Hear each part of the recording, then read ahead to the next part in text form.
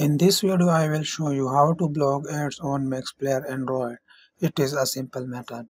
First of all open uh, MX Player. First uh, I show to uh, ads.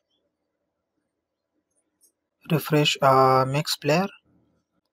Now this is my MX Player ads. To block this go back and go to mobile setting and open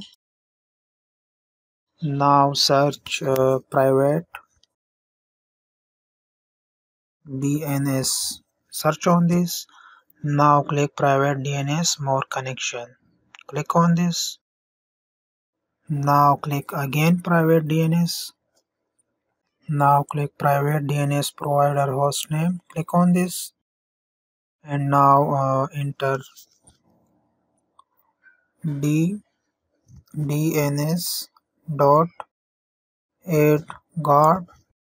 dot com.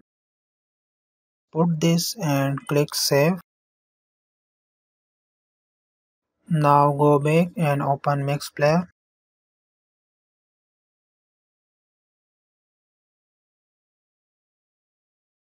now refresh a MX Player